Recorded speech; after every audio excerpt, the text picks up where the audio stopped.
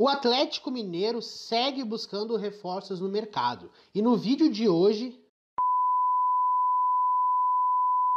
Sextou com novidade aqui na Rádio Cancha. E a partir de agora vai ser assim: eu e você, olho no olho. E para comemorar essa data, essa novidade, esse começo no canal, comigo e você conversando olho no olho, não podia ser diferente. Vídeo do Galo, do Atlético Mineiro, uma das torcidas mais presentes aqui na Rádio Cancha. E hoje eu vou falar sobre Soteudo e Vergara, dois jogadores que podem pintar no Galo, um em 2020 e outro em 2021. Mas antes de começar, já que estamos com essa novidade, vamos fazer o seguinte: se tu não é inscrito aqui do canal, desce um pouquinho a tela e clica no botão inscrever-se te torna um inscrito aqui da Rádio Cancha. E também ativa o sininho de notificações para receber os próximos vídeos do Galo aí no teu celular. Como eu te falei, é uma das torcidas mais presentes aqui na Rádio Cancha e vai ter muito mais vídeo de Galo aqui. Então, te inscreve no canal e ativa o sininho de notificações para receber os próximos vídeos de Galo aqui do canal. Feito isso, vamos ao vídeo.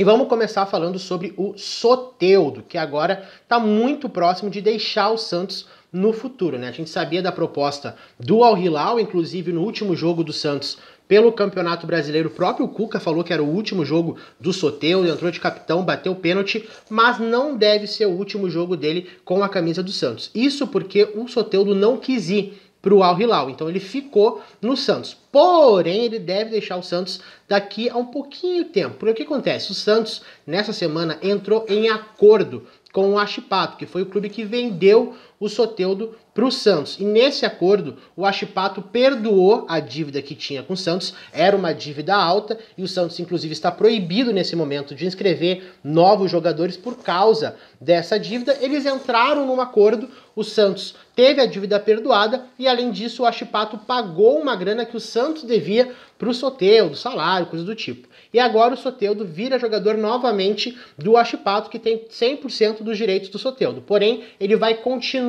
jogando no Santos até o final da temporada. E depois, teoricamente, ele deve voltar para o time do Achipato. E aí, como o Achipato e Galo, não sei se vocês lembram, já tiveram um acordo para negociação do Soteudo, começou um boato muito grande nas redes sociais dizendo que Soteudo poderia parar no Galo em 2021. Porque em 2020 não tem como, já fez os sete jogos pelo Campeonato Brasileiro e não poderia jogar pelo Galo a partir de agora. E aí o Jorge Nicola, da ESPN, canal no YouTube, trouxe a informação de que o Soteudo não iria para o Atlético Mineiro tão cedo, porque ele conversou com Alexandre Matos, que disse que não está pensando nisso nesse momento, que ele pensa no presente, nas negociações de agora, nos jogadores que o Galo quer contratar agora e não está pensando no futuro. Mas cá entre nós, duvido muito se é papo de dirigente, porque certamente ele está pensando no Soteudo, porque é um jogador que agrada o São Paulo, é um jogador diferenciado, é um jogador sub-23, seleção venezuelana, que tem mercado no futebol europeu, é o tipo de jogador perfeito para o Atlético Mineiro, para o projeto Atlético Mineiro,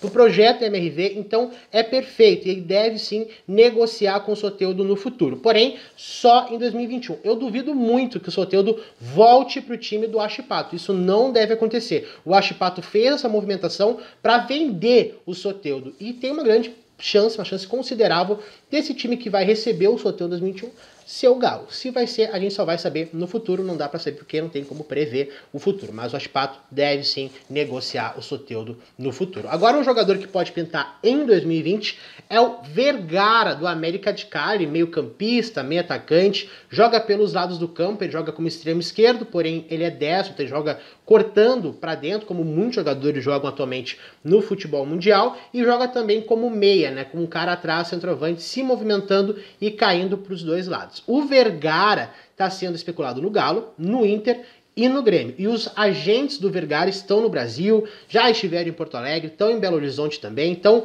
eles estão negociando o Vergara e há um boato muito grande da possibilidade do Vergara negociar com o Clube Atlético Mineiro. E no momento, essa negociação pode sim estar acontecendo. Porém, o Alexandre Matos até agora negou. Então pode acontecer apenas consultas nesse momento. Negociação até agora não tem nenhuma informação. Mas um jogador de 24 anos de idade que cabe no estilo de contratação do Galo, muito habilidoso que se encaixa perfeitamente no estilo do São Paulo. A minha dúvida é se ele tem nível para jogar no Galo. Porque uma coisa é jogar no América de Cali, jogar na Colômbia, outra coisa é jogar num dos principais times do futebol brasileiro e que tem grandes pretensões e que, para mim, pelo menos, é o favorito para conquistar o título do Campeonato Brasileiro. É uma possibilidade, eu tenho dúvida se esse cara tem nível para jogar no Galo. Ele é um bom jogador, ele vem se destacando, mas num nível diferente. Ele conseguiu fazer um gol e dar uma assistência no jogo da América de Cali contra o Inter. Se vai conseguir repetir isso a nível Brasil, a gente não sabe. Mas eu quero saber de ti, o que, que tu acha? Soteudo vem 2021, Vergara vem 2020. Comenta aí embaixo, deixa teu like no vídeo, dá teu comentário, gostou do vídeo assim, gravado, eu e você, olho no olho. Deixa teu like no vídeo também, que é sempre muito importante. Até o próximo e tchau, tchau.